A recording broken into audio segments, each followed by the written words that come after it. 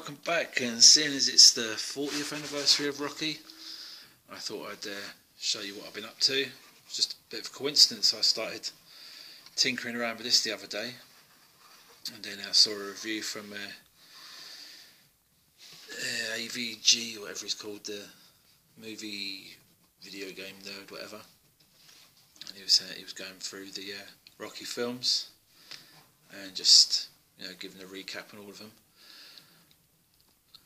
and uh, yeah, just thought I'd finish this off. Still got a few little minor little things to touch up, like the little Converse symbol on his boot. I've started it, but don't know if I'll bother. Put the little blue star in, might be too tricky. But I repainted the meat. That this meat come with the uh, Texas Chainsaw Massacre set from a few years back, and the meat was kind of like a a sort of greyish, greenish looking, and it was like meat that had been sitting for a while and looked like it was going off. So I had to touch up the the meat with some skin tones and uh, some brighter red to make it look more vibrant and fresh. Otherwise, that meat weren't going to get eaten by anybody. So anyway, this figure is from NECA, I believe.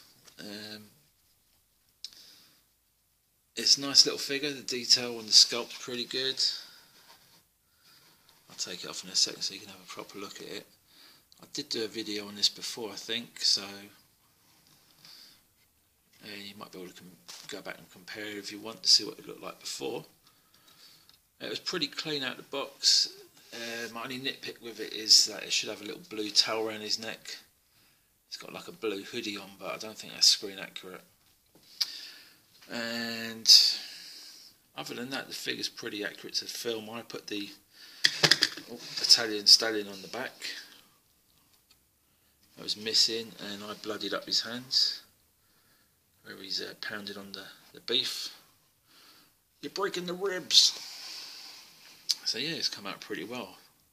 Pretty happy with it. I might be selling this one because I do have another um, set of meat and uh, like the slaughterhouse type setup. And I have got another one of these figures so if anybody's interested in buying this little stocking filler or present to themselves I might be yeah, sticking this on eBay uh, shortly because I need some money. So there you go. Anyway I don't know if you can see the likeness. Of Stallone's pretty good. He's giving it the old one two. One two go for the ribs. So yeah, it's a nice little outfit. I tried dyeing it first, but it didn't work out. So I've just used the weathering powders, uh, the oil effect, and that's worked pretty well to give it a dirty look.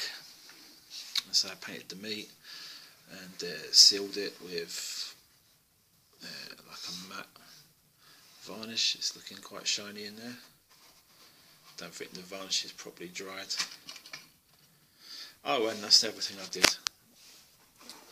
He is quite a wobbly figure, so I put some magnets in the base, as you can see, drilled some holes in the feet, and uh, he's not totally sturdy, but he's a lot more sturdy than he was before.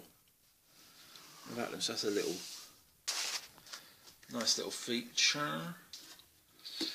Um, what else can I say about it, really? It's a nice figure. Do love the film.